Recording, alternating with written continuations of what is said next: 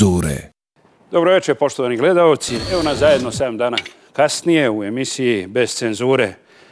Večeras pitamo ima li Srbija put do pravog puta? Jer 20 godina je u vrtlogu svojih zabluda.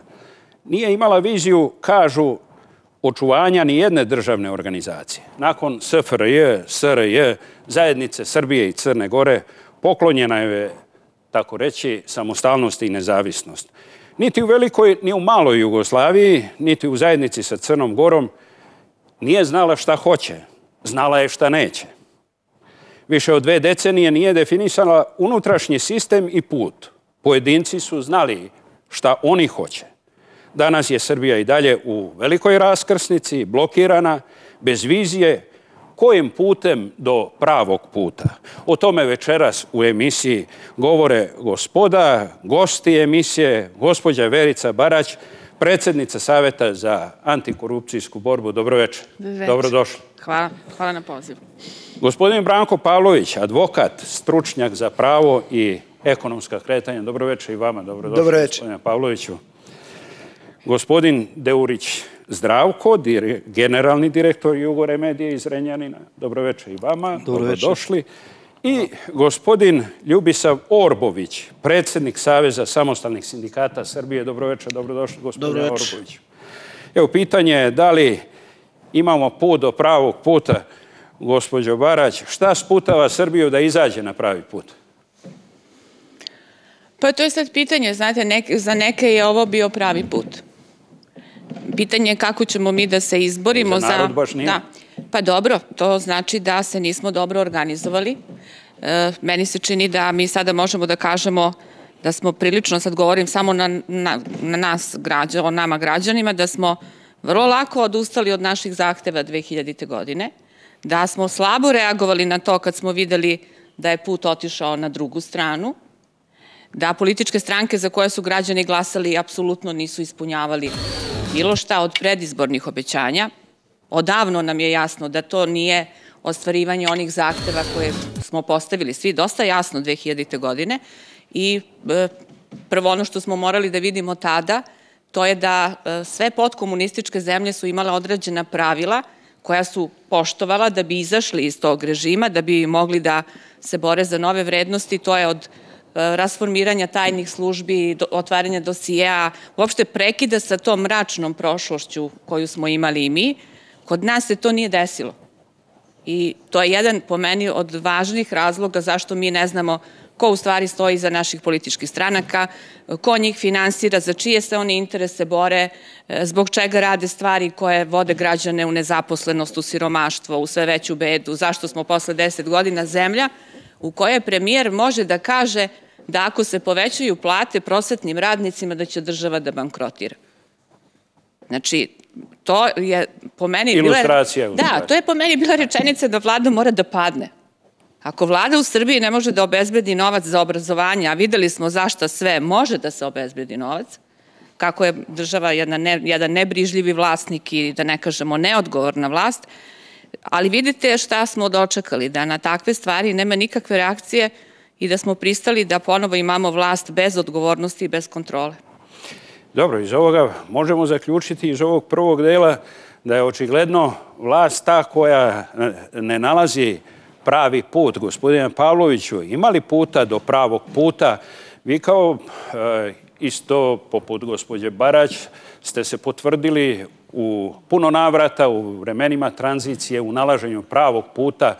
Za neke ste uspeli da dođu do puta, negde niste baš uspeli, nisu vas poslušali. E, Meni se čini da sad dolazi jedno bolje vreme za nas u Srbiji.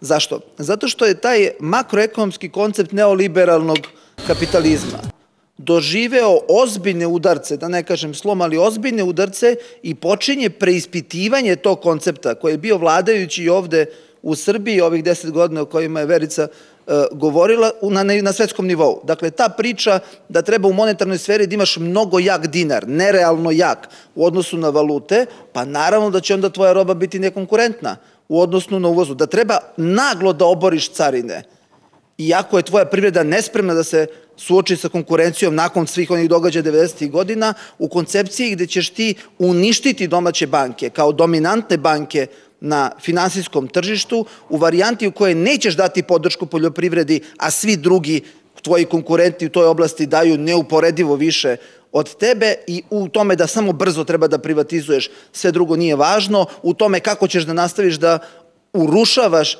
sistem rukovodđenja javnim preduzećima umesto da slediš recimo nemačke sisteme kako oni upravljaju državnom imovinom i tako dalje. Dakle, taj koncept je doživeo krah i sada je ta stvar mahalo se time. Nema šta da se misli kako se to radi. Samo prepišeš kako to rade druge i gotova stvar. To prepisivanje nas dovodi do toga da imamo sve manje imovine, sve više dugova i sve nekonkurentniju i poljoprivredu i industrijsku proizvodnju u onim tragovima koji još uvek tu postoje, na jednoj strani. Na drugoj strani, međunarodni spoljni faktori nam idu na ruku. Dakle, zaista tamo negde 90. godina, pa sve tu negde do 2005. 6. godine, sedme, Amerika jeste bila dominantna sila. I jeste vedrila i oblačila i sa svojim uh, saradnicima iz Evropske unije ustvarila pravila haos po celom svetu. Tako i nama krojila sudbinu onako kako njima to odgovara. Danas, sa stanovišta interesa države Srbije, druge zemlje postaju sve dominantnije, pre svega Rusija i Kina, sa našta gledišta, ali i Indija, Brazil i neke druge zemlje i u narednih deset godina one su već danas, one koje su nam bliže i bliže našim nacionalnim interesima, danas su već veoma uticajne. Mnogo uticajnije nego što su bile pre deseta, nego da ne govorimo pre 20 Očito godina. Očito sa svojom ekonomijom. A, pre svega sa svojom ekonomijom, ali sa jednom stabilizacijom na državnom planu, To je takođe vrlo zanimljivo da se kaže, to ću reći u drugom delu odgovora na vaše pitanje, ali će u narednih deset godina biti dramatično uticajne. Dakle, možda jednako uticajne kao i Amerika. Dakle, nekoliko stvari nam idu na ruku, mislim da oko toga šta treba raditi više nema dileme.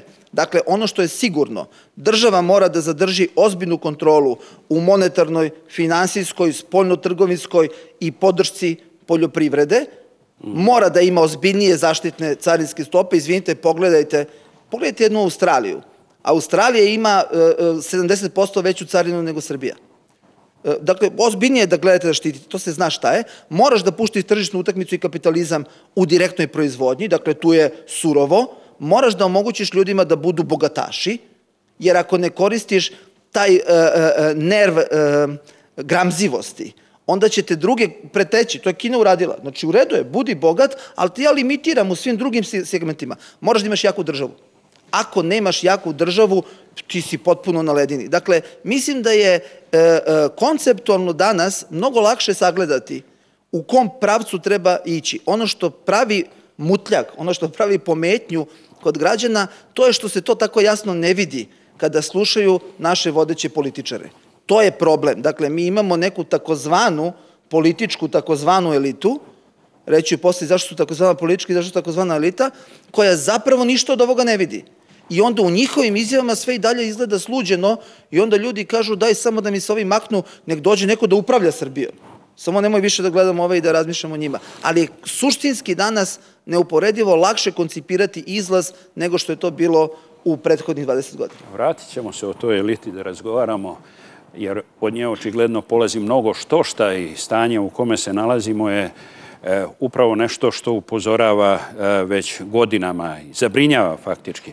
Ali kada se postavlja pitanje imali puta do pravog puta, onda evo jedan mikro primer možda na a, primjeru Jugore medije, kako je ona izašla iz začaranog kruga, ja pitam gospodina Zdravka Deurića, generalnog direktora Jugore medije, iz Renjanja kao preduzeća koje je imalo jednu žestoku borbu građani o tome znaju. Vi ste izašli sa satisfakcijom iz te borbe, na određeni način ste pobedili. Da li ste izašli iz, iz tog vrtloga?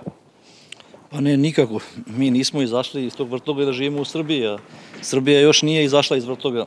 I treba dosta vremena da prođe, da se sve stavi na svoje mesto da, da bi to i doživeli. E, kako smo mi uspeli da nešto više postignemo od ostalih radnika akcionara u Srbiji, kojih ima na hiljade koji se bore za svoje pravo na vlasništvo i svoje pravo na rad.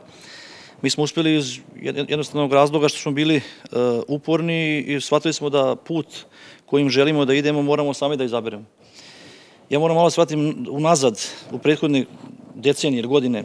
Znači, 90. godina, kad je neminovno padao socijalizam i dolazio kapitalizam u, u, Jugoslaviju, pa to mislim i na Srbiju, na Hrvatsku, Sloveniju i sve republike bivše Jugoslavije, e, bio je prvi ključni problem je bio da probitna akumulacija kapitala pojedinca nije postojala u socijalizmu.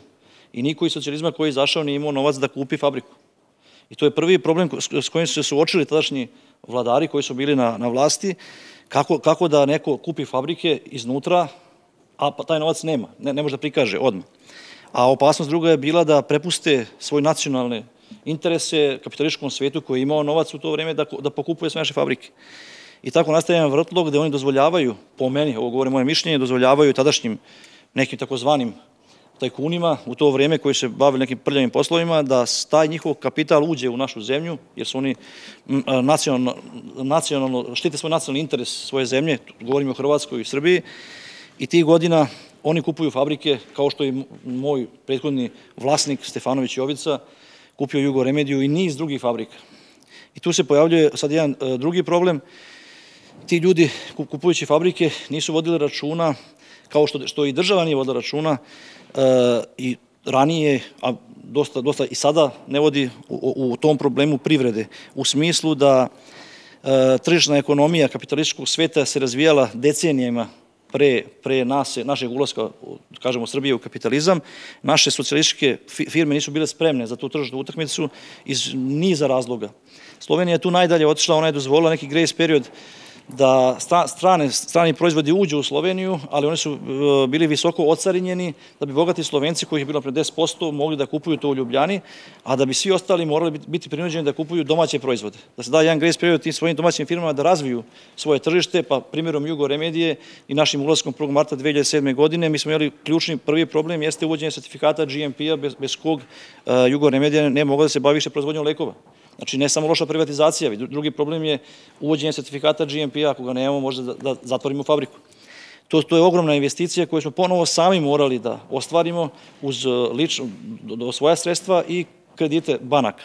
Znači, to nije samo problem u Jugoremiji, to je problem ovaj, i u svim drugim eh, ovaj, granama privrede u Srbiji, o čemu država nije vodila računa, da se da mogućnost tog grec perioda, da se, da se naše firme pripreme za tu kapitalističku tržišnu ekonomiju koja je surova i koja je ovaj, neminovno došla, došla u našu zemlju. E, što se tiče da, današnjeg vremena, takođe opet ne mogu da, da pohvalim ni današnju vlast u ovoj državi, jer mi smo uspeli da, da srušimo tih 42% u toj e, e, neuspešnoj privatizaciji, da vratimo državi u vlastištvo 42% i da oni postanu naš partner u, u, u, u, na daljem putu ovaj, Jugo Remedije i našeg pokušaja mene kao direktora i mog menadžmenta da ovaj, Jugo Remediju vratimo u jednu ozbiljnu, u svet ozbiljnih farmaceutskih kuća. Ali ste se oduprli očigledno od intencija koje su bile na sceni i prakse u stvari koja je uspostavljena. Tako je. Pa to je, opet kažem, jedna upornost, jedan uh, skup ljudi, nesebična pomoć, mogu kazati i ovde prisutni gospođe Verice Barać, Branko Pavlović je dosta učestvao u tome, tako, tako da ovaj, jednostavno uh, grupa ljudi je uspjela da se suprostavi kompletnom sistemu javnost zna ko šta smo sve prošli, znači to je bilo i hapšenje, to je bilo i ovaj prisilno gušenje e, legalnog štrajka i tako dalje, ali jednostavno ostali smo na tom putu dosledni i na kraju ovaj taj put radnici i akcionari, to jest e, mi smo samo pokazali primjer da nije jedini put radnik kad dobije hartiju od vrednosti da mora ići na berzu što se radi u Srbiji, da proda svoje akcije jer je osiromašen, jer nema radno mesto i nema platu, on mora prodati akcije da bi kupio osnovne namirnice da bi preživeo jednu zimu, na primjer. Mi, mi, mi tako nismo shvatili, borili smo se za, za svoje akcije, svoje vlasništvo, uspeli time da dođemo na vlast u, u Jugo Remediji, dalje sada proširujemo svoj put, e, određena grupa akcionara i dalje ne želi da proda svoje akcije, ona je te svoje akcije uložila kao neočana sredstva u novi jedan pogon antibiotika zajedno sa Jugo Remedijom u Zrenjaninu i u tome bi, ako bi javnost interesuje, malo pa pričao bi... Naravno, u e, nastavku da. razgovora u nastojanju da dođemo do odgovora postoji li put do pravog puta, gospodine Orboviću, u okolnostima u kojima su, evo primer, Jugore medije u stvari pokazatelj kako sindikalni aktivisti, kako ljudi kojima je stalo do preduzeća, predvođeni na određeni način sa ljudima struke, znanja i tako dalje, su uspeli da se odupru onome što je u stvari poraz za društvenu privredu bio, e, u okolnostima privatizacije koja je sprovedena u Srbiji. Koliko su sindikati koristili prostor koji im je pružalo rušenje jednog sistema i dolazak nekog novog? I šta je pokazala promena titulara u društvenoj privredi? Pa prvo, da li postoji nada i da li ima izlaska, ako čovek ne veruje, onda nema ni smisla da živi. Znači, mora da veruje i sigurno sam da u nekom periodu postoji izlazak iz svega ovoga, da je osnovno pitanje i osnovni problem e, ljudi, da li smo spremni da i kao nacija se pokrenemo u nekom periodu e, napred. Nažalost, e, postoji šansa i za još gorim životom i to smo, kada su prošle 90. godine, kada se desio 5. oktobar, ja verujem da smo svi mislili da nikada se ne može vratiti jedan tako težak period, Međutim, pokazuje se da možda ne na onakav način, ali na neki drugi način se ovaj, taj period može vratiti. E, lično, znači, verujem u to da u nekoj bliskoj budućnosti uz određene promene i svest kod ljudi da ćemo, govorim prvenstveno u svest ljudi koji rukovode ovom zemljom, e, da ćemo ovaj, uspeti da se vratimo na neki pravi put. Kada je pitanje uloga sindikata u prethodnom periodu, E, mnogi kritike idu prema sindikatima i mnogi govore o tome da sindikati nisu dali veliku borbu oko toga, da su popustili, da su pustili, da je jednostavno privatizacija bila jednostavno urađena vrlo brzo, e, bez našeg učića. Međutim, ja se time prosto ne slažem, ne zato što se ja ne slažem, nego podaci govore o ogromnom broju štrajkova, protesta koji su rađeni, da li na nivou granskih sindikata, na nivou e, e, saveza, a pogotovo u preduzećima. Tamo gde je postojala mogućnost, ložnost e, poput Jugoremedije, uz jednu strahovitu borbu i energiju koju su tu ljudi uložili, znači to je bilo ispavanje u firmi e, danima, nenapuštanjem e, borbe sa, sa nekim koje je bio obezbeđenjima i to se nije dešavalo samo Jugo Remedi, to se dešavalo i mnogim drugim firmama u tom delu. E, međutim, nije se imalo, nije se nudila alternativa Znači, e, sindikati su se borili, s jedne strane je dolazila do privatizacije, onog momenta kada je došlo do privatizovanja, mi smo mogli da se borimo samo da se raskine kupoprodajni ugovor.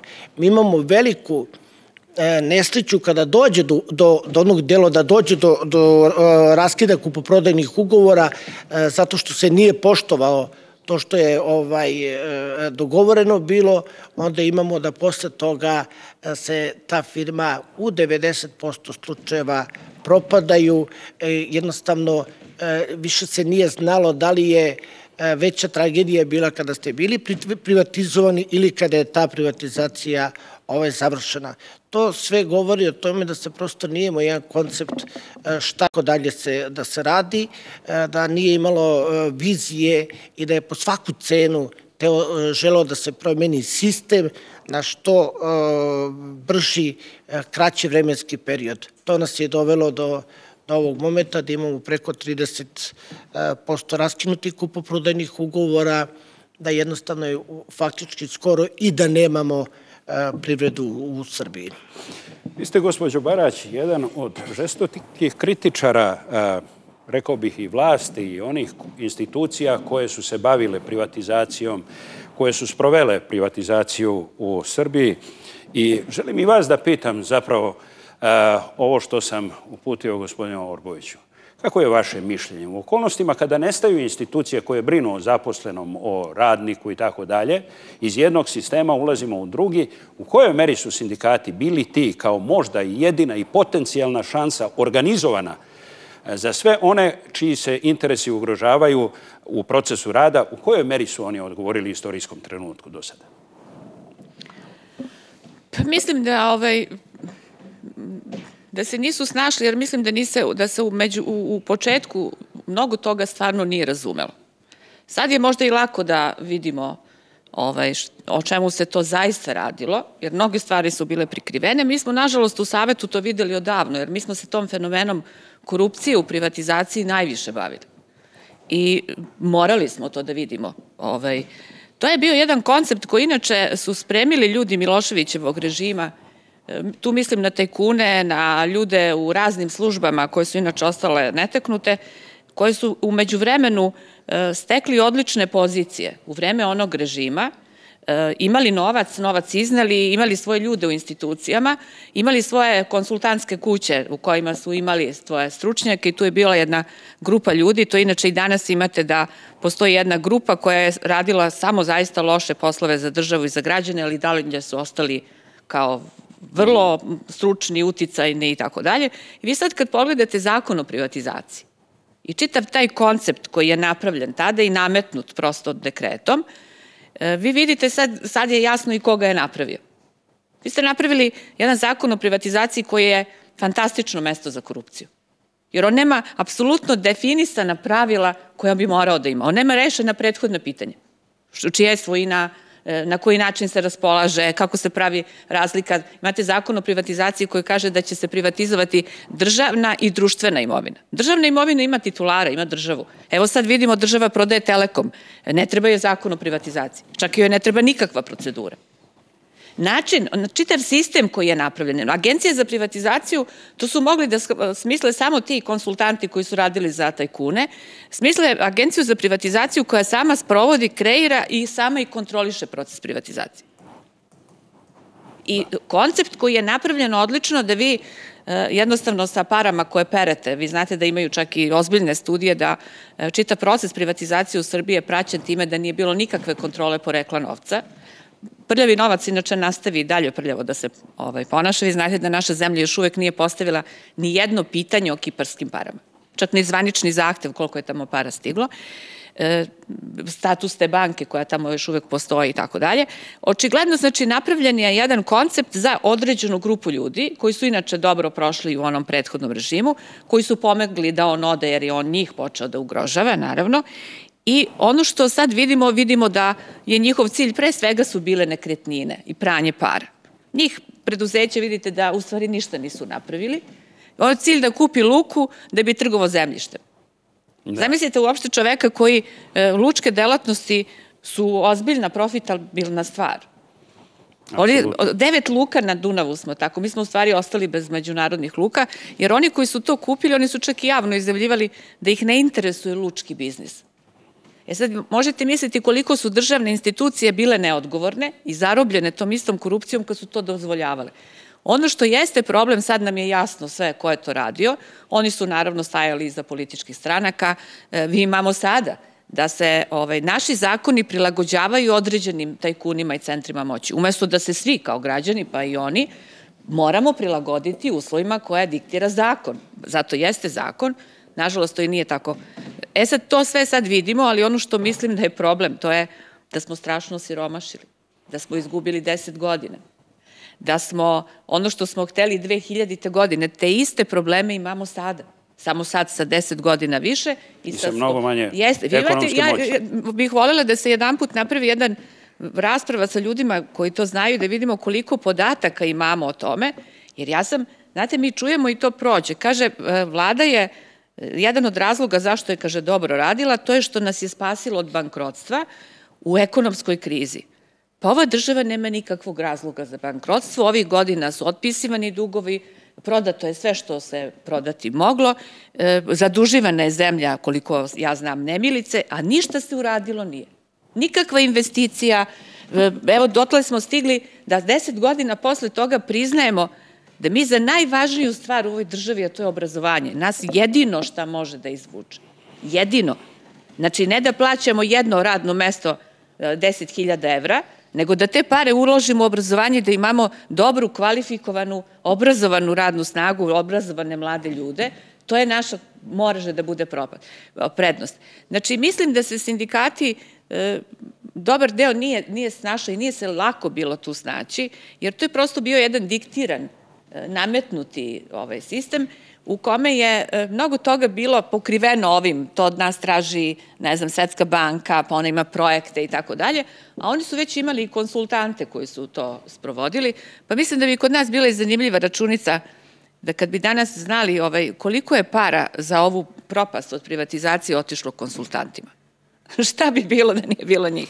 Možda će Znači, se jednoga dana doći i do te informacije. Možda. Pa, ozbiljne zemlje su pravile završni račun privatizacije. Mislim da je to radila Mađarska i ne znam još ko. Ovaj, jer ja znam, na primjer, to smo gledali, ogroman novac koji je, na primjer, Citadeli, konsultantskoj kući, otišao za restrukturiranje zastave koja inače nije uspela.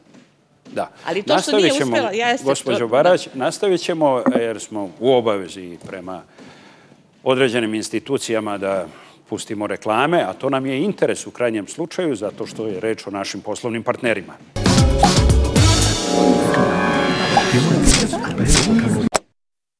bez cenzure. Dakle, evo nas ponovo u studiju.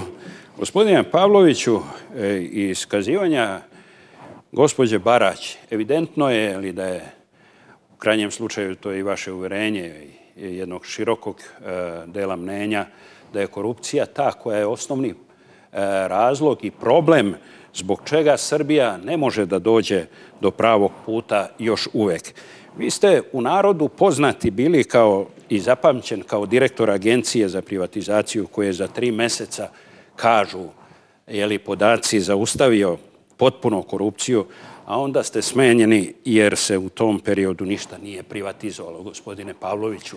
Danas u ovom trenutku, kako u stvari i šta možete poručiti da se može zaustaviti korupcija sem onoga što je jačanje institucija države?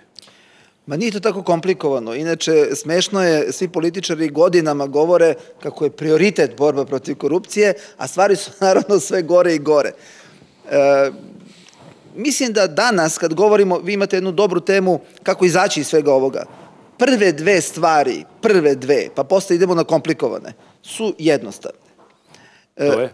To je ta korupcija, tih, kako je ovi iz Evropske unije kažu, milijardu evra godišnje, verovatno i nešto više, to ne može da se krade bez vrha političara i partijskih kadrova u državnoj strukturi. To je nemoguće. Možete vi da ukradete hiljadu, dve, petsto, ali milijardu evra, pa to ne može da se krade bez njih. Prema tome, pod jedan mora da se razume da su vladajuće političke stranke one su postale organizovane kriminalne grupe.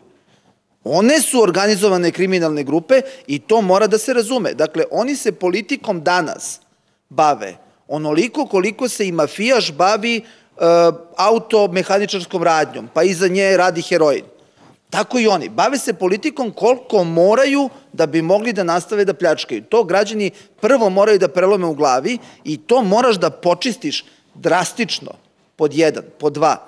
Oni su nakrcali svoje, ovo sad preko korupcije, nestručne kadrove i zatrpali i državne institucije i sve tamo gde su javna i državna preduzeća, fondovi kojima oni upravljaju.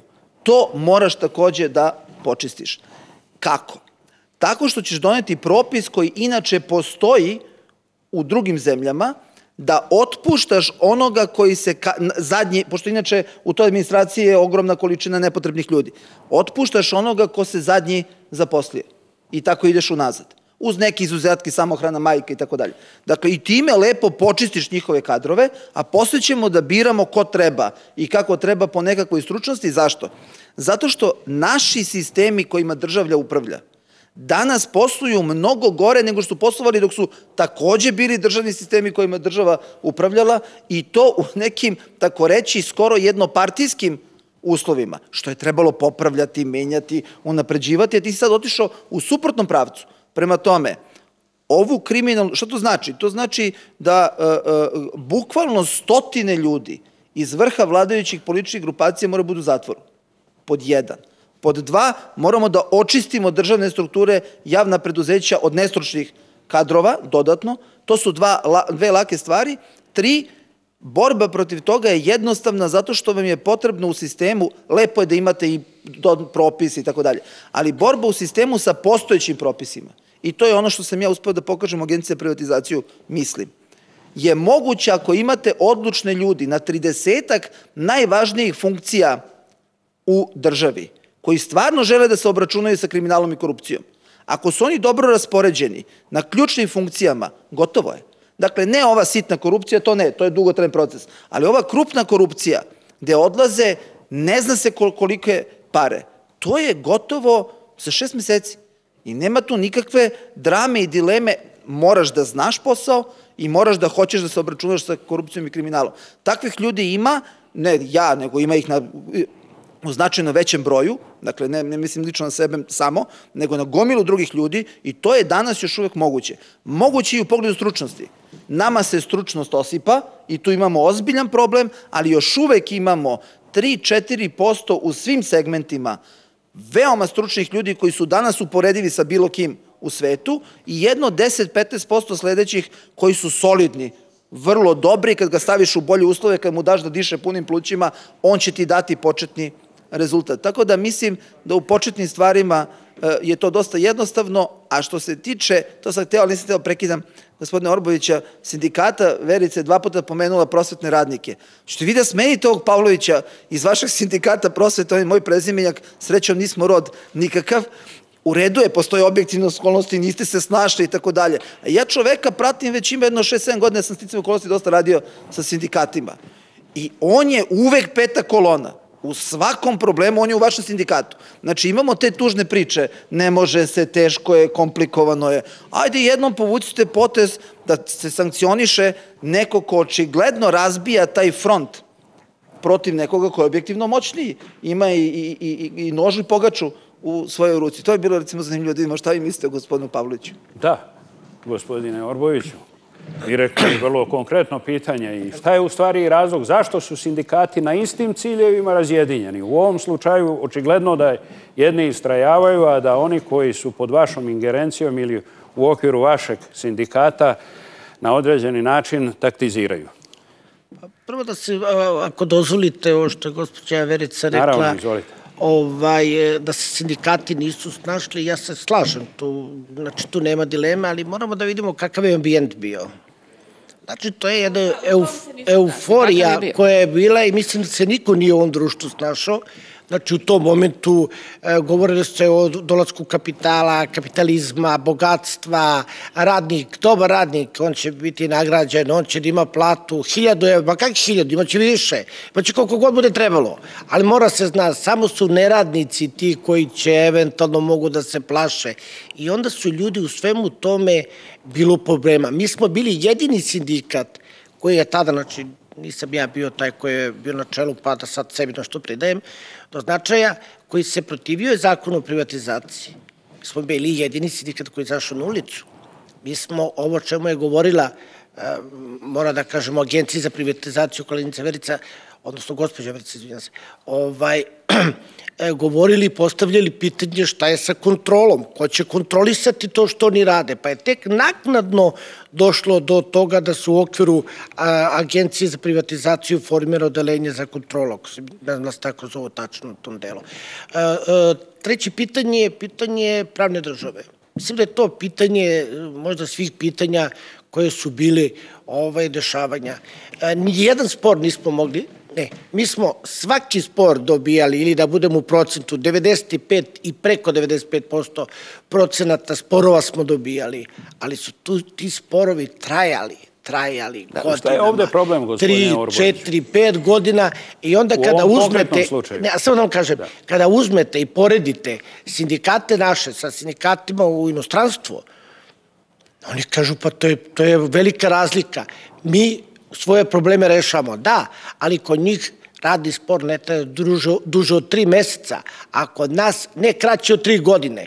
I onda su tu gubi neki efekti koji se dešavaju. Kada su u pitanju sada prosvetni radnici, prvo moram kažem... situacija. Jeste. E, e, Savez samostalne sindikata je sve vreme vrlo aktivan i e, drugi sindikati ili jedan deo sindikata se skoro nije ni pojavljivao pogotovo u ovom periodu, znači i kad su bili protesti i štrajkovi, i štrajkovi u firmama, i izvršite analizu e, tih protesta koji su se dešavali, vidjet će da, da ni jedan jedini nije bio, a da nije bilo ovaj, Saveza samostalnih sindikata, ili da je bio nosilac, znači u svakom delu.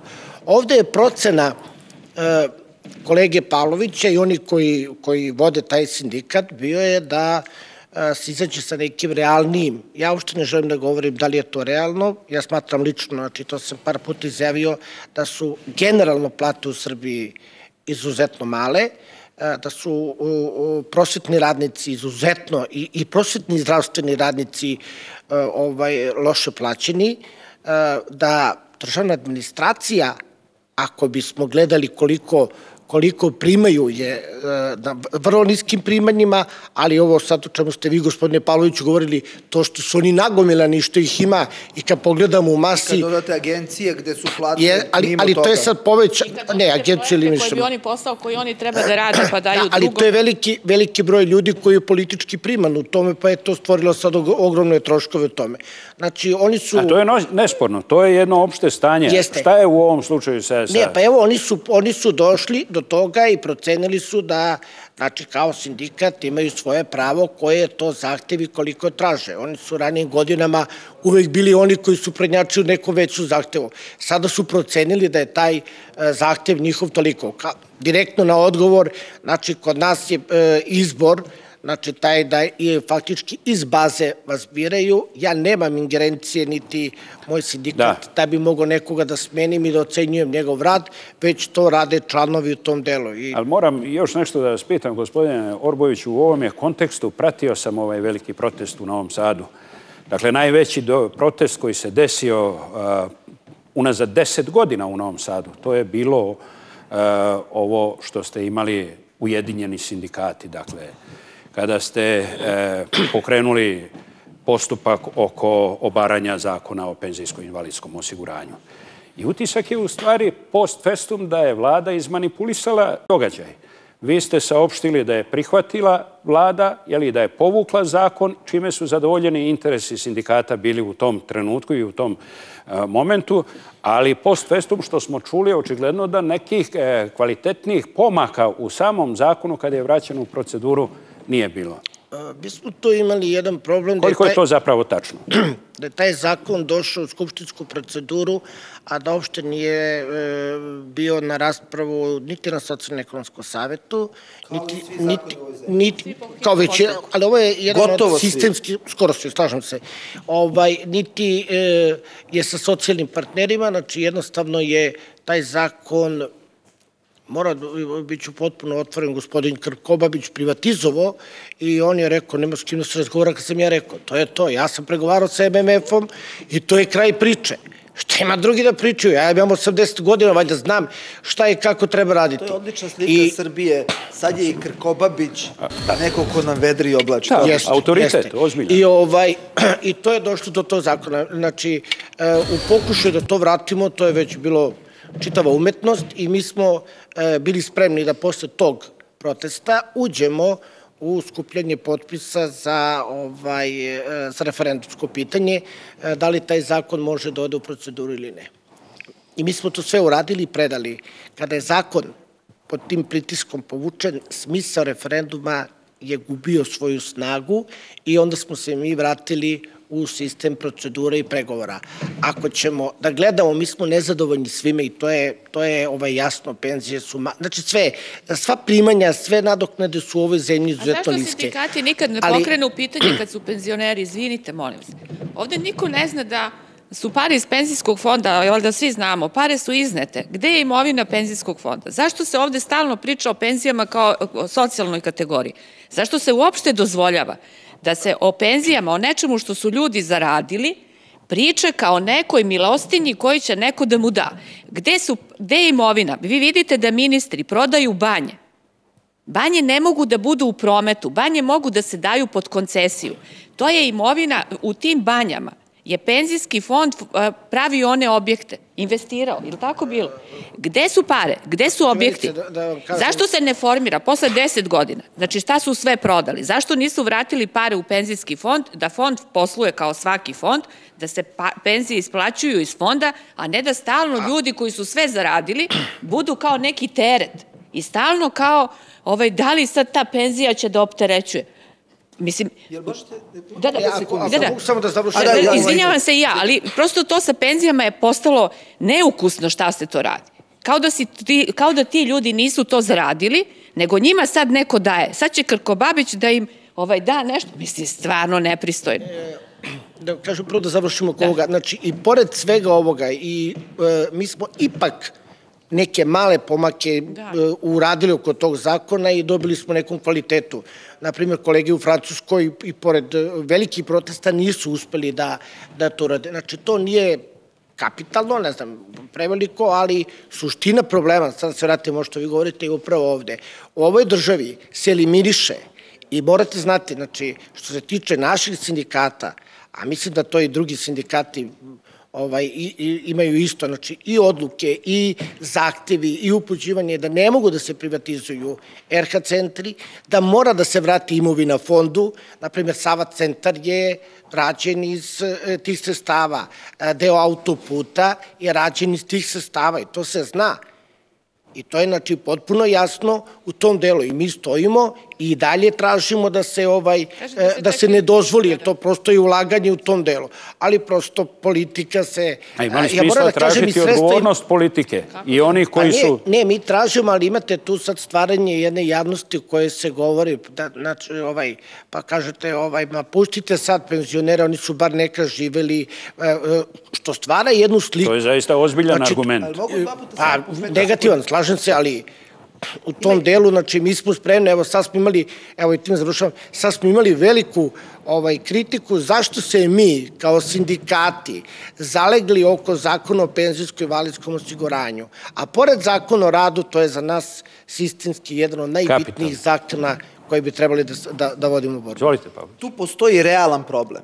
Realan problem se sastoji u tome što iz budžeta preko 2 milijarde evra godišnje ide za dopunu penzionog fonda mimo onoga što svi mi koji e, privređujemo uplaćujemo kao doprinos. Dakle, tamo nikakvih para nema, osim onih koji se sliju od doprinosa i plus Tekući kad se, prilivi. kad se oporezuje od svih nas, 2 milijarde evra iz budžeta ide tamo. Ali koliko nije naplaćeno, to je pitanje, to je vrlo značajno Imamo vrlo pitanje. veliko pitanje neplaćanja doprinosa, pa se sad tamo prave dugovanja. Ali prosto rečeno, ono što se deli penzionerima u ogromnoj meri, gotovo 30% ukupnog budž- budžeta ide za tu namenu. To je sistemski neodrživo. Prema tome, mora se pribeći kapitalizaciji penzionog fonda. To je ovo što Verica govori, da se vrati ovo što je gospodin Orbović rekao nešto. Mi smo, radeći za sindikate, 2006. godine napravili zakon koji to rešava. Ceo gotov zakon koji rešava problem, jer zaista privreda Srbije, ne, da, da, je, da nema krađe, da je sve drugo fantastično, sa 30% dodatnog izdvajanja iz budžeta za penzionere, to je sistemski neodrživo. Pa nemoj da gledaš to što ti se događa godinama i da toneš sve više kroz zaduživanja na ime države da bi to mogao da isplaćuješ između ostalog, nego uzmi pa reši. 2006. godine smo napravili mehanizam dokapitalizacije koja omogućava bitno smanjivanje izdvajanja iz budžeta. I to je 400.000 građana ove zemlje potpisalo uz ogromno angažovanje sindikata i predali smo u Skupštinu. Ma kakvi bio predsednik ovaj, kako se zove ovaj iz Subotice za, što je sad i za rudarstvo, ne znam ni koji su rudnici u Srbiji. Kako se zove ovaj? Dulić. Dulić, Dulić, da. Bio predsednik Skupštine. On čovjek neće stavi na dnevni red. 400.000 ljudi, 15.000 potrebno bilo u tom trenutku, danas 30.000 da bi nešto bio skupštinski predlog. I ta vaša 400.000 inicijativa nije. Neće. I samo da se razumemo još 10 sekundi Da, bukvalno oko da. kako se donose zakoni. Imamo dva mehanizma. Jedan je ovaj o kome je gospodin Orbović pričao, a to je niko ne vidi ništa od zakona i onda vlada preko noći tap usvojen predlog, hitan postupak skupština. Gotovo. To je jedan model. Drugi model je napravimo radnu grupu koja radi na zakonu. I sad ljudi se ubiše radeći na tome, oni uzmu to što su oni uradili i zadnju verziju urade u svojim kabinetima. Sve ključno izmene i onda opet preko noći vlada i onda ovi koji su radili se hvataju za glavu i kažu pa ja sam doktor nauka, ja sam ovde uložio svoj rad, ovo sad što ide, pa ja ne stojim iza toga. To veze, oni ljudi varaju i, i, i venecijansku komisiju, oni varaju i strance, oni šibicari, oni gurnu jedan propis, Oni kažu, pa ovo bi možda i moglo. Oni kažu, super, onda dopiše drugo i gurne vamo. Otuda sad slušate zahteve da se bez jednog zareza izmena zakon o finansiranju političkih stranaka takav kakav je predviđen ima Sad ljudi, ima osvojiti u parlamentu. Sad ljudi stranci videli, vidi, sa ovim u Srbiji, pa to ne vredi prijatelju ništa. Znači, ako mu ne stojiš nad glavom svaki minut koji mu ne stojiš nad glavom, on uradi drugačije. I to građani moraju da shvate. Dakle, to su i sindikati. Mehanizam kojim oni varaju sve koji su kao partneri je uigran. I oni to rade rutinski, oni to rade ko enter na, na, na računaru kad udariš i on ti izbaci modlu kako ćeš da ideš dalje. Tako oni to rade.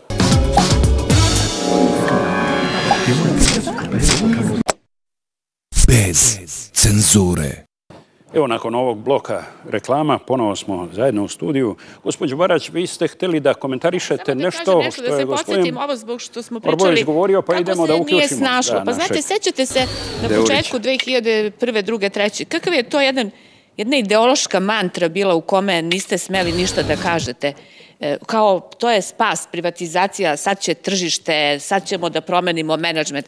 Ja sam se setila, Zdravko, kroz onih svih one muke koje ste vi prošli, kada smo mi e, obratili pažnju na probleme korupcije u privatizaciji, to je takav napad bio sa svih strana da su njih, znači privatne vlasnike, većinske privatne vlasnike u, u Jugoremedi, kojima je jedan manj, manji, znači manjinski vlasnik oduzeo vlasnička prava, se sećam da i sad su to dalje glavni urednici u politici, da su nas sve zajedno zvali sta, samoupravljačima, stalinistima i ne znam još, ovaj, ali se toga samoupravljači i to su staljinisti... bili, Da, da, to je bila, uopšte kad pomenete, znači e, niste mogli da kažete, da, nesporno je i zaista je potrebno da se izvrši privatizacija, ali privatizacija podrazumeva jedan zakoniti model, jedan proces u kome su procedura i zakonitost nešto što je pravilo, možete imati izuzetke. Vi niste smeli da kažete da u toj privatizaciji u stvari gazda je korupcija. Ako to kažete, vi ste protiv privatizacije. I to je jedna onako moćna ideološka priča sa kojom su oni ovaj, sve svoje protivnike Ali naravno tu je, tu je e, zanimljiv i značajan i model privatizacije. Ja želim da pitam gospodina Deurića, da ga uključim u ovom kontekstu o čemu ste govorili, gospođo Barać, Barać da, da e, e, komentariše da li su radnici, građani posle ovih iskustava, ali pre svega radnici u Jugoremediji, zaista shvatili šta je konačno akcionarstvo. Da li su oni ovladali e, tom kategorijom? Jer utisak je barem u javnosti da smo mi e, napravili jedan brzi ulazak iz jednog sistema koji se zvao samoupravljanje, pa smo došli u vreme privatizacije 90. godina za koju mnogi kažu da je pravednija nego što je 2000 i kasnije, jeli? ali e, je e, taj utisak da se malo znalo o akcionarstvu, o deoničarstvu. Znaju li vaši sada radnici o tome? Pa ovako, znači primjedba velika tih, tih 2000. godine i prije toga jeste da si- sindikat e, tada nije radio na edukaciji radnika akcionara. Znači nije se dovoljno radilo da se ljudima objasni šta znači to njihovo I vlasništvo. oni su bili zatečeni, očigledno. Apsolutno, apsolutno. Znači, e, Jugo Remedija, osim ostalih stvari koje smo naveli, imala je jednu sreću da je privatizovana e, po zakonu o svojskoj transformaciji iz, 2000, iz 97. godine. Znači, iz, iz 97. godine o zakonu o privatizaciji. Taj zakon je davao radnicima većinsko pravo na vlasništvo u tim firmama. Znači, 70% je bilo u rukama radnika, a svega 30% je bilo u rukama države, što je bilo i dovoljno za PIO fond, akcijski fond i ostale fondove. Nažalost, 5. oktobra je došlo do te promene. Pod izgovorom da bi lakše strani kapital ušao u zemlju, oni su izmenili taj zakon i, dali e, većinsko vlasništvo firmi državi u ruke, znači 70% je bilo u rukama države, a manjinski deo u rukama radnika gde to neko buduće, akcionarstvo, znači ne može bez proste većine odlučivanja da se postavi upravni odbor ovaj, te firme i kasnije direktor. E, tu sreću imala Jugo Remedija je privatizovana po starom zakonu gde je gospodin Stefanović, tadašnji kupac, mogao da kupi samo manjinski paket od države od 42% kapitala, tako da je taj većinski pak- paket ostao našim rukama i što je bio i uspeh, naš, znači naš šablon uspeha je bio da smo prikupili konačno, posle dugog niza četiri godine borbe, većinski paket od malih akcionara. I time smo ušli u fabriku i porušili sve te sisteme državne koje su štitili Stefanovića, znači od policije, sudstva i svih ostalih sistema. Znači, mi smo samo premenili taj kapitalistički sistem prikazivanja proste većine vlasništva na, na, na nekoj varednoj skupštini koju smo mi zakazali i time smo i preuzeli upravu nad fabrikom. Tada je i, i policija i sudstvo i svi su kapitulirali u Jugo Remediji i morali, se, morali su da se povuku. E, u tom delu, znači, sindikati tada nisu bili dobro ovaj, organizovani i edukovani da bi e, radnicima u, u, dali smjernice kako se bore za svoje vlastištvo. A njihovo, bilo je, ne, znači, neprikosnoveno vlastištvo je njihovo, jer ta društvena imovina koja je stvarana 50 godina je samo njihova. Nažalost, to nije urađeno. Posle 5. oktobra kasnijim privatizacijama po tom novom zakonu radnik imao samo jednu smjernicu, a to je kad dobije hartiju od vrednosti da, da ide na berzu, da proda svoje te akcije, a uopšte nema pravo da razmišlja o, o nekom o, suvlasništvu sa državom ili sa nekim većinskim vlasnikom, gde bi bio ravno, ravno, ravnopravno poštovan. Hoću da kažem, na primjer, u svetu farmacije, e, štada koja je kupila Hemofarm je jedan od najvećih akcionara, ona ima preko hiljadu akcionara u, u, u udruženju akcionara štade kao što je i Krka. Znači, u Sloveniji to je jedno veliko akcionarsko društvo koje apsolutno funkcioniše e, i tu ima, imamo dve jake uloge. Znači, imamo olakšice državi ovaj, od većeg broja vlasnika, to je bogatih ljudi, relativno bogatih ljudi i e, radnih mesta. Znači, da se, da. da se tu otvaraju radna mesta koje su danas e, najtraženija, u, najtraženija u Srbiji. Ja mogu samo da se malo pozovem i na stanje u zrenjanskoj privredi ovaj, nekada moćna zemljanska privreda koja je bila jedna od četiri e, privrede stare Jugoslavije, koja, koja ima te resurse oko sebe, o naše žitnice ovde u Banatu, danas je na kolenima. Znači, možda nabrojamo na, na prste jedne ruke firme koje, koje, koje rade u, na, u našoj izraelskoj privredi. A to je po meni e, podela karata sada ponovo. Znači, oni moćnici iz 90. godina koji su imali prvobitnu akumulaciju kapitala prljavog novca, koji su ubacili u kupovinu znači bez kontrole tadašnje države, tog novca, oni su ubacili u kupovinu, kupovinu tih svojih firmi, oni danas pokušavaju da legalizuju te svoje poslove preko raznih stečaja, znači preko ovaj okvira zakonitosti u stečaju, što su doživjeli mnoge firme, znači ovde u, u, u Zrenjaninu. Znači, mi, mi, mi imamo primere niza firmi u Zrenjaninu koje su iz stečaja izašli radnici kao ljudi koji nemaju više ni, ni radno mesto, niti imaju svoje vlastištvo. Imamo primjer Šinovoza, imamo primjer Beka, Imamo primjer Gig Banata, fabrike tepiha, pivare, mislim da šećerane, ipoka, skrobare, što je nečuveno da jedna najveća balkanska ovaj, uh, skrobara ne, ne može da radi, a oko nas je ovde obnovljeni resurs. Svake godine kukuruza ima koliko god, koliko god hoćete. Ima, imate taj proizvod da plasirate na inostrano tržište, da, da se znači, ovaj, prodaje za devize. Jednostavno to ne radi, jer podela karata vlasnika još, još, još nije završena. A radnici opet i tu ne mogu to da razumeju, oni čutke to ovaj, podnose, ja sam imao razgovor, niz razgovora sa tim ljudima, on kaže ja sam radnik, ja radim svoju struku, ne znam, bravar sam, ja ne želim da, da, da vodim fabriku ili tako neke stvari. Tu je problem sindikata koji je morao mnogo da uloži, da organizuje te ljude. Jer ovi svi tamo u Beogradu što to, što to nama rade su dobro organizovani, imaju dobro plaćene ljude, imaju novac, a mi jednostavno kao radnici e, to, to nismo imali i tu, i tu dobru edukaciju nismo uspeli da ostvarimo. Da li su radnici akcionari Jugo Remenica svesni toga šta se dešava?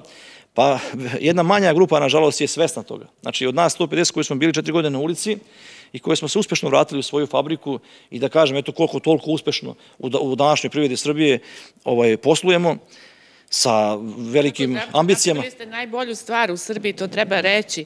Vratili ste se u fabriku koju je država zajedno sa vlasnikom potpuno upropastila. Vratili ste se u fabriku gde je e, vaš partner, država, kao drugi vlasnik, htela da vas odvede u stečaj jer je prethodno Niniju dozvolila da ne plaća ni poreze ni doprinose. Vratili ste se u fabriku koja je bila upropašćena. Uspeli ste za ovo vreme, ne samo to sve da uradite. Znači, sa državom koja je 42% vlasnik i koja radi protiv interesa svog, vlasničkog, jer ne sarađuje sa njima kao većinskim vlasnicima, a oni popravljaju fabriku, napravili su fantastičnu investiciju. U normalnoj državi bi taj najbolji primer te grupe bio nešto što, iz čega izvlačite dobre iskustva. Jer ovo što kaže sa Zrenjaninom, to je zato što je napravljena takav koncept 2000. godine privatizacije. Taj koncept pljačke i korupcije, jer se nije tražio dobar vlasnik, Nije, e, cilj privatizacije nije bio da vi to rasprodate nekome ko će to da pretvori e, od stečaja da dođe do imovine, nego ste tražili dobrog glasnika koji će da dovede dobar menadžment i od toga da unapredi. Pa Zrenjanin je primer.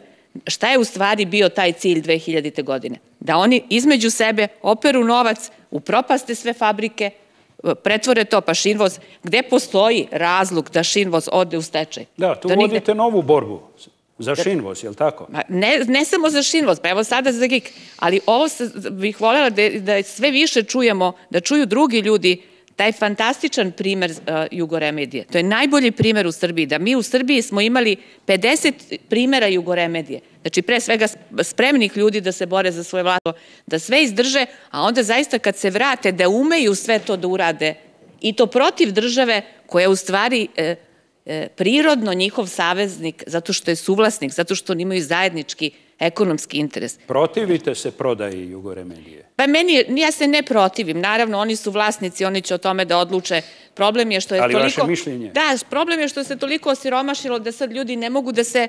Eh, oni, eh, kad biste gledali za budućnost, znači verujem da kad gledate za budućnost, zašto bi neko sada u ovom trenutku prodao akcije jedne dobre firme sada u krizi, kad ne možete da dobijete dobru tržišnu cenu, nego ljudi su time nateralni siromaštvom.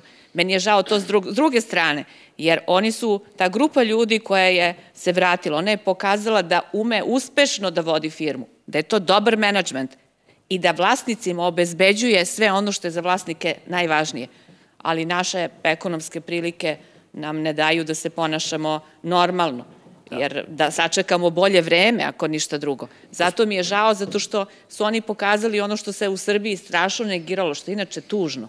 Stalno se priča kako ovde ljudi ne znaju da budu vlasnici, pa sad ovde imamo ove koji dođu sa strane da upropaste tolike firme, oni i dalje budu neko ko zna, a ljudi koji zaista svoje umeju fino da zaštite i da uspostave dobre odnose poslovne u firmi, oni se ne tretiraju na taj način. A evo, primer su da vlasnici, radnici kao akcionari umeju da se izbore, da se vrate u fabriku, da budu dobri odgovorni vlasnici. Da. Gospodine Pavloviću, vi ste bili na čelu e, aktivnosti sindikata u NIS-u prilikom njegove e, privatizacije. Bili ste njihov savjetnik. Konsultant. Konsultant. Ali, e, Ali ne ona svaka, grupa priča, svaka priča je počinjala sa Brankom Pavlovićem i završavala se. I onda je dopušteno evo i voditelju da zaključi da ste bili e, vođa, e, da kažem, tih aktivnosti u okviru sindikata. Konsultant. Prihvatimo tu kvalifikaciju koja egzistira. I u kontekstu ovoga što sam pitao gospodina Deurića, u kojoj meri je taj naš zaposleni čovjek konačno deset godina posle shvatio i spoznao šta je akcionarstvo? To jeste jedan proces sa kojim treba da ovlada svest ljudi, naravno edukacija zaposlenih i tako dalje. Kako biste to komentarisali? Jer to je važno, pre svega, sa stanovišta nekog budućeg razvoja i budućeg puta Srbije. Naftna industrija Srbije je bila dobar primer. Ja sam tamo bio predsednik pododbora koji se bavio u okviru upravnog odbora NISA 2001. druga do polovine da. 2003. godine reorganizacijom i restrukturiranjem naftne industrije Srbije dok su bili celina, dok su bili svih deset delova. I tu šta sam uradio? Razgrnuo sam pritiske i okupio stručne ljude iz sistema. Ne ja sad kao pametan, nego samo im dao mehanizam i jednu vrstu organizacije celine u kojoj su oni iznedrili koncept koji onda prošao verifikaciju kroz svih, sve delove i bio, na, nasuprot onome što je menadžment hteo, usvojen na upravnom odboru naftne industrije Srbije, to što je tada urađeno, to je sada sve ovo što očekujemo od stranog partnera. Dakle, NIS je odličan pokazatelj da unutar naročito velikih sistema ima sasvim dovoljna količina visoko stručnih ljudi, to je između ostalog onoga što Jugoremediju izvuklo manje znanje o akcijama, a više znanje kako se prave kvalitetni lekovi, dakle to oslanjanje na sobstvene stručne snage unutar sistema je zapravo put kojim je trebalo da se ide. I nešto sam ja pokušao kao direktor Agencije za privatizaciju u saglasnost oba reprezentativna sindikata na nivou Republike, da uspostavimo takva tela koja će sve to pripremati i u EPS-u, i u PTT-u, i u Telekomu, i svuda. Pustite na stranih konsultanata. A njegov cilj je da vidi kako će to neki iz njegovog razvijenog sveta kupi što jeftinije. I to je potpuno legitimno. Ajmo mi preko naših ljudi da napravimo sistem koji će podići sve te velike, važne privredne poluge do nivoa visoke profitabilnosti. Pa kad su visoko profitabilni, onda neki vlasnik nek odlučuje da li hoće, neće, može, ne može i na drugi način. Akcionarstvo je komplikovana stvar.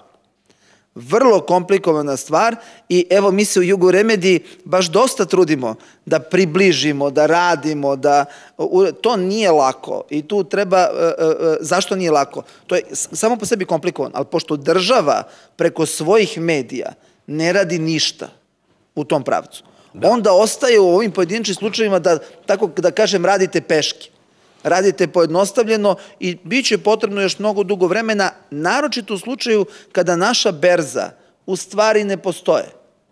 To što oni pazare, to Kalenića pijeca u Beogradu za vikend pazari bolje od njih. Tako da je to manje više smejurija od berze. Eto još jedan I to komentar. je sad problem još da se dalje uredi. Gospodine Pavloviću, vi ste bili e, u prilici i javno ste kritikovali najavu besplatnih akcija i onih famoznih, čuvenih hiljadu evra. Ja sam evra. rekao da o hiljadu evra nema govora. Da, da, da, da. I evo ga, a, došli smo tu gde jesmo došli. Jeli, potpredsednik Dinkić više nije potpredsednik, sada je Ne, nego priznao da je to, on imao druge razloge Jeste, zašto rekao. Da je, da je on verovao da će to tako biti. Ili da ne, ne, ne, ne, ne, on kaže, da ja sam znao da neće, ali sam pomogao Tadiću da dobije izbore. Što e, znači da. tačno. Prebario e sam, ali nisam zbog mene. Koliko je to da. skopčano, recimo, sa tom edukacijom građana, zaposlenih ljudi o akcionarstvu?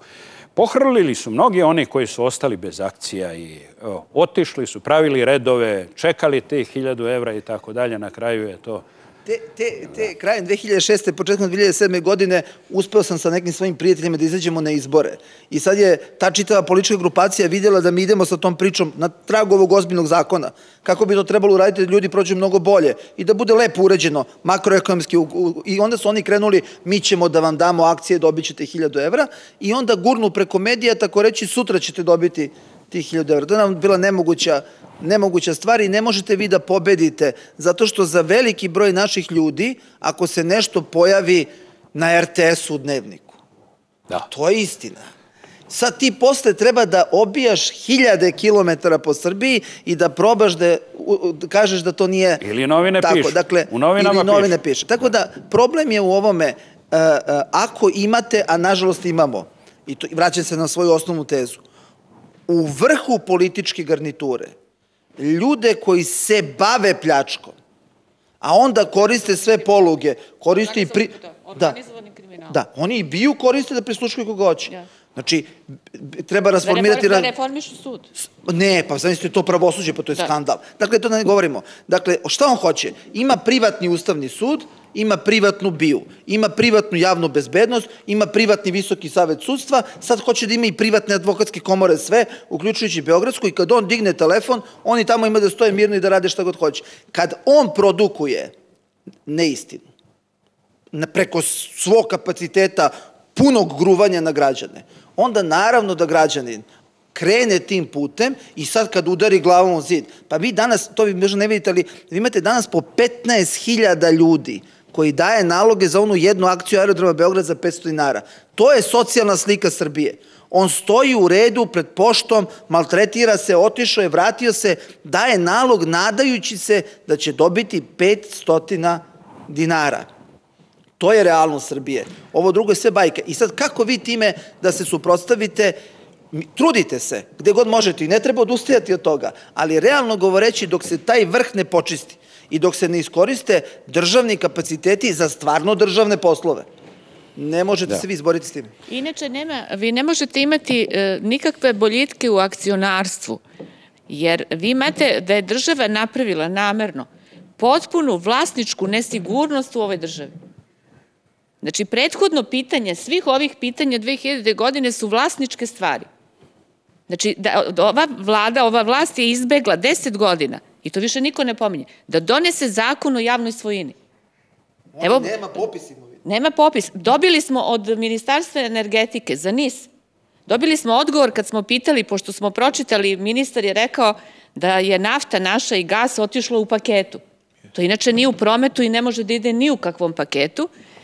I pitamo mi njega šta je prodato u NIS-u. Oni nam dostave ugovor prodato 51% i ovako kaže – da oni isto ne znaju šta je prodato u Nisu jer nije vršen popis imovine pre prodaje Rusima, tako da im oni sad sukcesivno prenose zaključcima vlade. Pa da li postoji na svetu vlasnik, bilo gde, u Africi, koji proda svoju stvar pre nego što je izmeri ili popiše ili, ili već nešto ugleda. Mi imamo državu koja prodaje državne resurse i deset godina neće da napravi jasan propis da se zna da li je uopšte nešto moglo da ode u paketu, kao što je nejasno. Kako je moguće da prodajete telekomunikacijnu infrastrukturu u Telekomu, ako imate zakon koji kaže to se daje pod koncesiju? Znači, daje se na korišćenje na određeni rok pod određenim uslovima. U toj vlasničkoj nesigurnosti, potpunoj, evo gledajte ovaj sad izmenu zakona o planiranju prostora. To nikada ja nisam čitala takav tekst, ovaj Dulićev. To, to, je, to je zanimljivo, e, tu ima pretnje da ne smete da vodite upravni spor. Tražite povlačenje toga? Da, o, pa to će da ide po hitnom postupku. Zamislite, ima ovakva odredba da će, se, da će se legalizovati objekti u zaštićenoj zoni regionalnog i magistralnog puta, a tu saglasnost će da daje javno preduzeće. Ja u Skupštini pitam pomoćnicu ministra, prvo to je zabranjeno, ne možete da legalizujete objekat u zaštićenoj zoni, zato, zato to jeste zaštićeno. Zaštićena zona, pa kažem kako ćete to da radite? Pa kaže pa nema pravila kad je legalizacija. Pa onda kažem ne možete nikom da odbijete zahtev ako nema pravila. A šta vi zna, šta radite? Vi, vi takve e, institute, kao što je zaštićena koridor puta, vi takve institute pravite potpuno nesigurnim. I u tojim uslovima, kad se ne zna ni šta je čije, ni ko kako prodaje, ni u kojoj proceduri, ni šta je javna svojina. Pa sve luke, prodali su infrastrukturu u lukama. Evo, obalo, Novosadska je sada. Obalo utvrde su prodali zato što su naravno se napravili da ne razumeju da je u prethodnom sistemu, što je tačno, preduzeća, društvena luke, jesu bile zvanično investitori e, obalu, izgradnje obalu utvrde infrastrukture, ali su pare bile državne. I vi ste morali pre prodaje da odvojite ono što nije u prometu i ono što samo da kažem, to nije slučajno. Kratko samo. Da, I nije Novosadska slučajno, luka je... je... Jeste, Novosadska luka, ona se sada Oko radi... Beogradske znamo da, sve, da, da, manje više. Jer sad bi Novosadska luka ne bi trebalo da bude problema jer je donet zakon mm -hmm. o lukama, Ovaj, međutim, on se, ja sam već dobila neke, dobili smo u savjetu informacije, da će, e, e, bez obzira što postoji zakon, rekli smo prošli put je bio problem što nije bilo zakona, evo sada imamo zakon i iste nezakonito će se desiti u Novosadskoj luci. Da, hvala vam, moramo napraviti predah novi za reklame i to činimo, evo, ekspresno.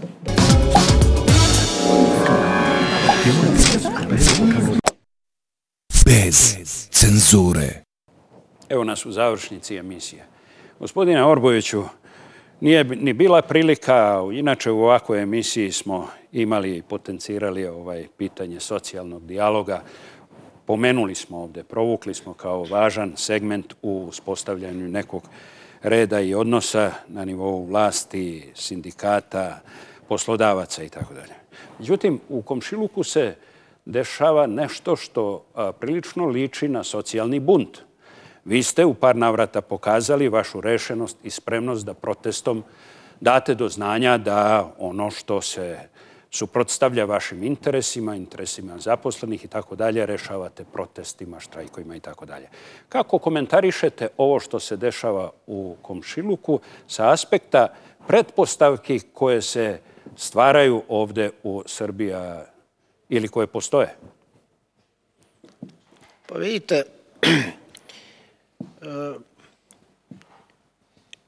mi kroz socijalni dijalog vrlo teško možemo da rešimo određene. socijalni dijalog za sindikate to vam dođe kao slatki otrov. Znači, vi uđete, vi razgovarate, tako se dođe do, do nekog e, dogovora, predloga i onda kad se date različite kao i u svemu, nikom ništa, niko ne preuzima svoje deo obaveze i to više navrata se i pokazalo. Pokušavali smo da to rešimo tako što ćemo eliminisati dijalog, znači izaći iz, iz te priče. E, pokušavali smo vršenjem pritisaka određenih, ali to nije, očito nije davalo rezultate i onda smo kombinovali i jedno i drugo, znači i dijalog i ovaj protest u ovom momentu. E, suštinski problem je sada što je privreda Srbije uništena, što je mali broj zaposlenih, što je mali broj radnika, a veliki broj nezaposlenih. Postoji određena i strah kod onih ljudi, i to je evidentno, oni koji rade, jer to je prirodno, znači oni koji, koji, ovaj, e, koji su na postoni pored svih tih malih, jadnih, nikakvih plata s kojima ne može da se obezbedi ni potrošačka korpa, ništa, ovaj, oni ipak imaju jednu određenu privilegiju u odnosu na neke druge. Mislim da sada ono što nam sled, na odnosu na one koje, koji ovaj, su nezaposleni, a ta vojska je e, blizu milion ljudi. E, mislim da sada ono što, što prete realna opasnost je upravo bunt i nezadovoljstvo tih ljudi, gde u, sasvim sigurno ako dođe neće biti izuzeti, odnosno e, i sindikati i oni koji su zaposleni u ovom momentu. Tako da... Je li sindikat spreman da se suoči recimo sa takvom situacijom i da bude taj koji će kontrolisati neko buduće veliko nezadovoljstvo ako do njega dođe? Mi smo uspeli, pa pitanje kontrole je, u to ne bi mogao da garantujem. Znači, to odmah mogu da kažem i to je možda ovaj najveći dilema. Znate, ako ne možete da kontrolišete nešto, onda postoji malo problem e, šta je to što će se desiti iza svega toga. Ali ovaj, e, ono što, da li sindikati spremni, da. E, po prvi put smo sada oko ovog zakona o penzijskog i validskog osiguranja uspeli da se akcijono sindikati ujedine. Koliko sada neke druge ovaj, Verica rekla, službe rade na tome da nas razjedine, to ćemo videti. Ali po prvi put je došlo do tog akcijnog jedinstva, jedino kolege iz UGS-a nisu, ali to je manje bitno sada bilo. Znači, svi ostali sindikati uspeli su da su jedine i mislim da su spremni eh, u ovom, znači mi sigurno, a i drugi kolege, da dođe do nekog određenog bunta. Samo još jedna rečenica. Ono što muči i, i što eh, među nama stvara veliku dilemu, E, e, rešenje posle toga. Znači, e, to je suštinsko pitanje. Ako bi došlo do bunta, očito je da više teško dole, može doći do nekih mirnih buntova. Znači, to bi nosilo određene posledice, ali se ne vidi dovoljno jasno šta je iza toga i to je najveći problem. Gospodine Deuriću, znate li vi svoj put sada u ovom trenutku kada ste stavili firmu na noge? i kada ste ovladali njome. Znate li kuda ćete dalje? Apsolutno, apsolutno znamo svoj put, znači opet radnici i akcionari, ta priča se nastavlja.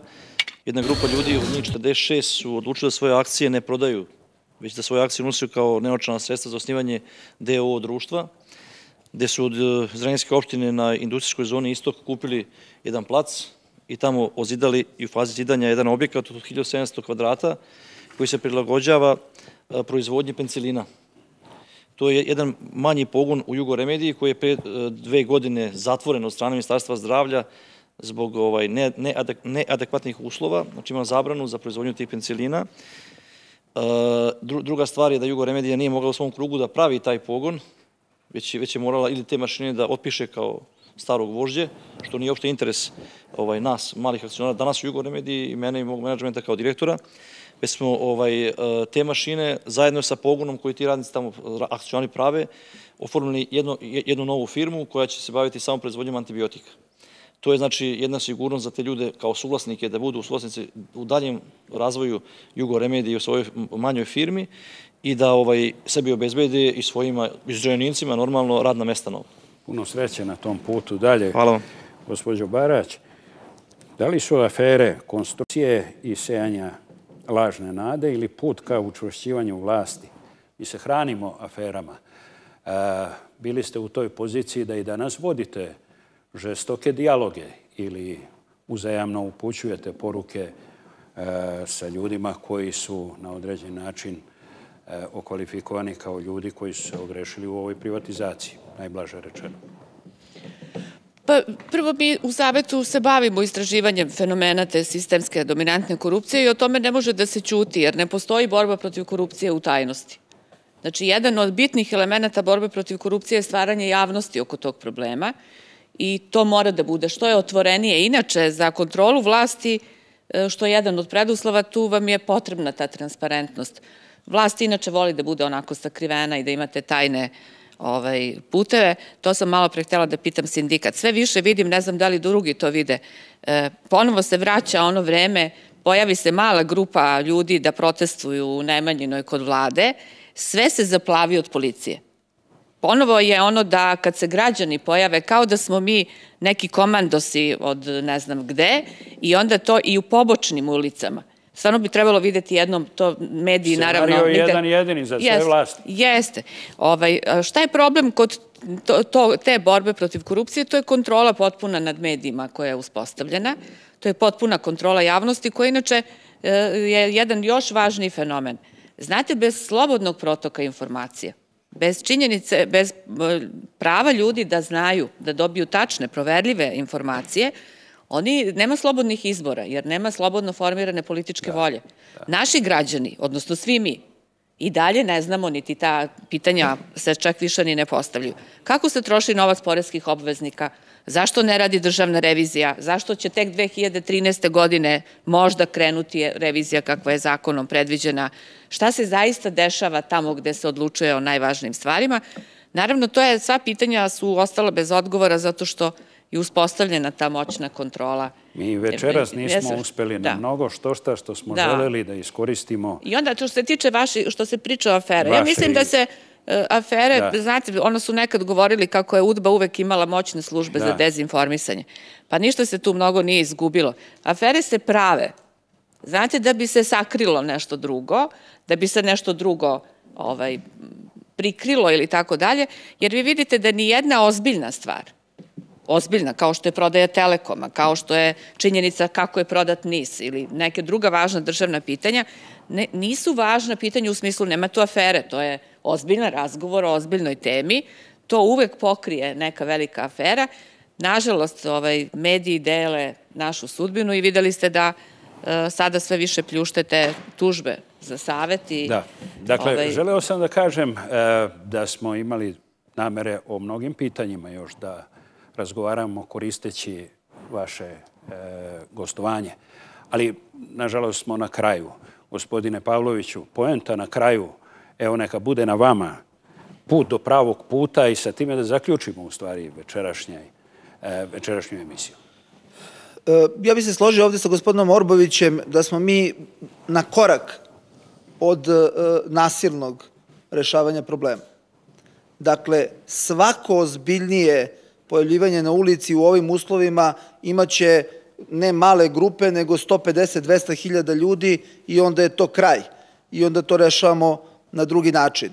Prema tome, to je sad nejasno da li će se izbeći scenario da se to reši nasilno, što možda i ne bi bilo loše da se reši, ili će se ipak ići nekakvim proceduralnim stvarima, to je otvoreno pitanje. Ali kuda treba da idemo, prve dve tačke su jasne, lopovluk mora da ide u zatvor i nestručni moraju da idu na ulicu. Broj dva, onda moramo brzo da napravimo jedan koncept koji je dosta jasan sada.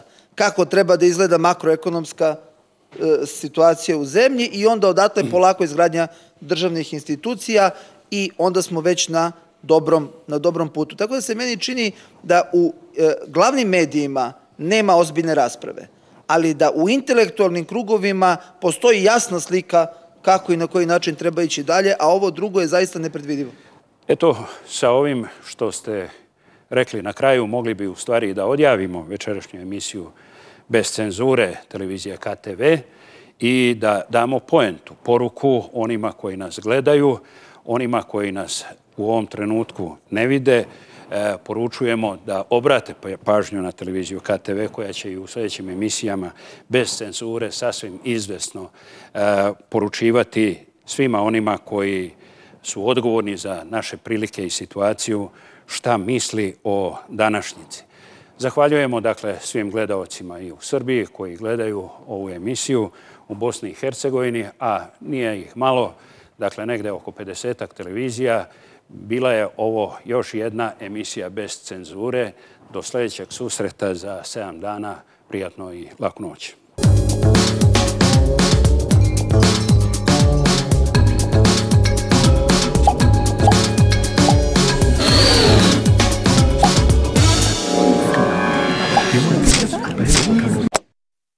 Bez cenzure.